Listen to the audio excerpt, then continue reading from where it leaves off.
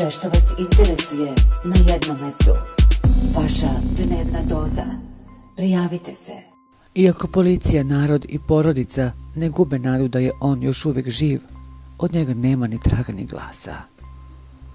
Šta se u ovakvim situacijama dešava, do kada traje potraga za nestalim licem i koje su zakonske regulative po kojima se postupa u slučaju nestalih osoba koje se ne pronađu u određenom vremenskom okviru, objašnjava advokat Boško Žurić.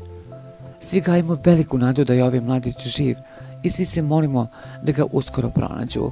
Što se zakona tiče, ukoliko se nestali spličanin Matej Periš ne pronađe u narednih pet godina i ako se u tom periodu bilo šta drugo ne sazna o njemu, a pritom se sa sigurnošću utvrdi i dokaže da je kritične noći ušao u reku i da mu se tu gubi svaki dalji trag, stvaraju se zakonski uslovi za pokretanje postupka za proglašenje nestalog lica za umrlo.